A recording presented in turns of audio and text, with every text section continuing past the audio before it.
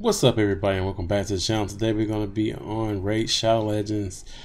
After our first three days, I'm going to be showing you guys the progress that I've made so far. So if we go over to our champions, as you can see I have Lady Qilin. She's on level 40 right now. Athel's at 27.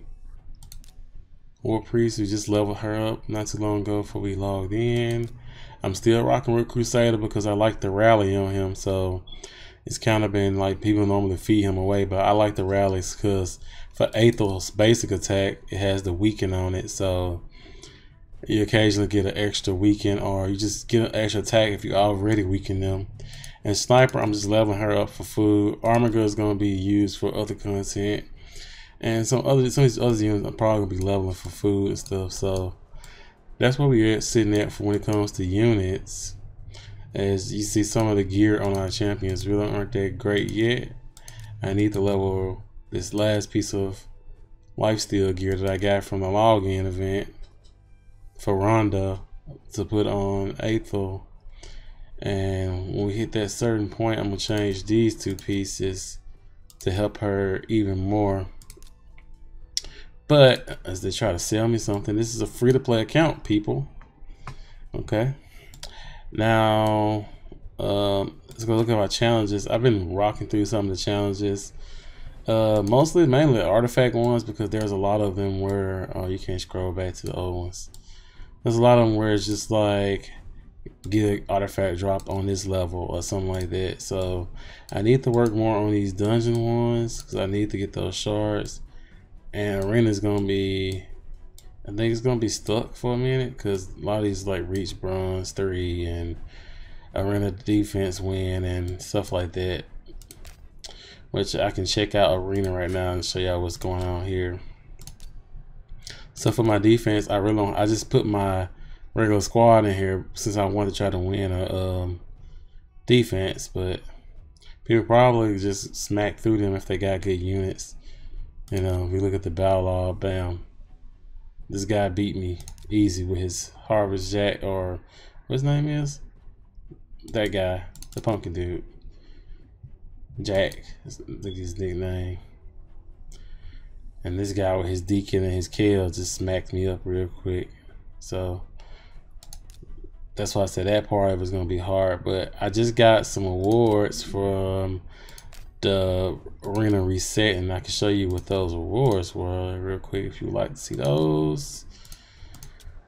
Um, we got, I think it was this Divine Life piece, this uh, Divine Critical Rate piece, and I think it was one of these pieces because you only get the two purple pieces from the store. So I think it was this piece too. So those what we got. And these two pieces came from the story. So some of these pieces probably going to start at the bottom of the mortal set stuff. I'm probably to ready to use if I can get like an extra piece. Let's receive these awards because I just had this on before I was recording. Um, they got the lunar event going on, so don't forget that while you farming. You know, it's gonna be running for three more days. You can just go in here and just pick a card. Just pick a card, any card, you know, like those things. I don't pick that one. Bam, we got we got this. Flip a card the same color and sequence to win a special chest. So this was a green one, another one was a blue. So if I would have flipped another blue green one, it would have gave me a chance to win a chest on my next flip. I really don't like that. I feel like you should just like load it up with each color and then give us a random reward based off the colors that was loaded in or something. Something like that would have been cooler, but it's all about the gambling here.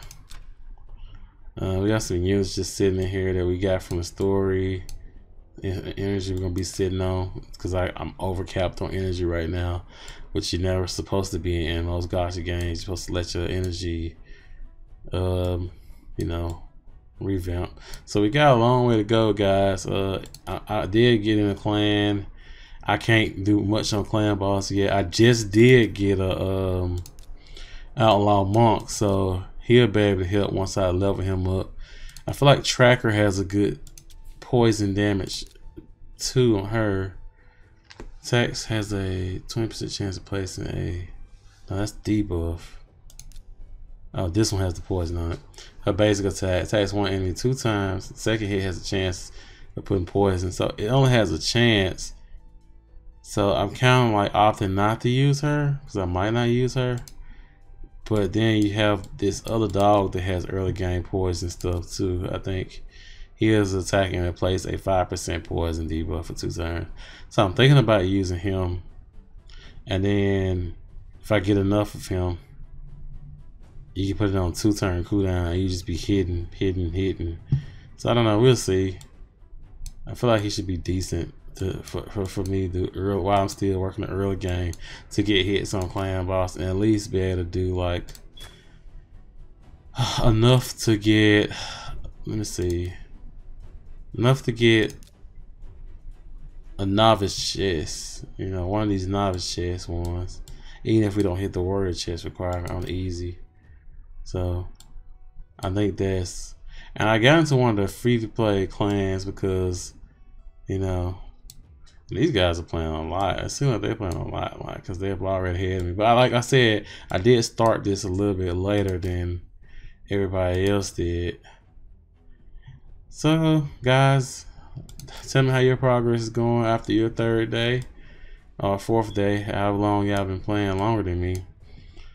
Give me some tips if y'all would like to. I don't really mind. If you think I'm doing going in the right direction, let me know. Um, I plan on finishing up um, normal campaign tonight. I'm already on the last four, been on the last four dungeons. I was working on this earlier today. I got stopped at this dragon, so I'm gonna have to do a little bit more grinding. Probably go back into here and here and get me some speed and some life steal to put on my characters. Let me get these real quick. And hopefully we'll be able to get some enough gems to go ahead and get when we get our six star. I'm thinking about running Ronda as my first six star and not Athel. I'm thinking about just dropping Athel off at 50. But we'll see. Because I think she's good in some content. But I don't think she's going to be a good farmer. I think she's going to be slow as far as farming go. Now Ronda has a lot of AoE, so I might use her instead. And we might just go for the shards and see if we can get somebody out of shards. But since the portal don't have any kind of like extra things going right now, I kind of don't want to go for it right now. I want to wait till we got some type of buff or rate up type stuff going on. Um, we can up our slots. Let's do a pool, 10 pool right here. Get some more um units in here. Gonna need space anyway, so I just went on and paid that. Okay, cool. We got some more units. Oh yeah, I do have a Sister Militant that I was I had working to help me hit earlier in the game, but she's more likely. I'm not most likely gonna use her any farther. This is probably gonna level her up, and uh, she's already leveled up. I'm probably just gonna leave her at level three. You know, just use her as a father. I'm probably gonna level her up to 40 and leave her as father to get her to the next level. But I'm just gonna use her for now to just. And Lady Qilin actually, it's like when I looked at her kit, I was like, she's probably decent. Like I probably should keep her. She feels the turn meter on critical hits. So if this her first attack is a critical, so you really want to put her some type of crit set to make her do more, uh, or with some crit stats, so she can do more critical hits. If I get it to 100 critical percentage, she probably would do a lot more, um, a lot more damage. And then her other one is like turn me, turn me to refill for the allies as well as I think it boosts one of these boosts critical damage. When I send this one to three, when I send her to three, she's gonna take all enemies and place a critical buff on all allies. And a and a curl and attack. So she's gonna be good when I get her to turn three. But I think first to the fight, she usually used that before. Like when I'm playing with her now, she used it in third, second wave, and, and instead of using it in the big fight at the end. But you know, I guess eventually she can be good. I think speed is what she's gonna probably struggle with. But anyway, guys, let me know how your progress is going. You got any tips for me as far as clan boss go or progression? Just leave a comment. I want to interact with you guys. See you guys next time.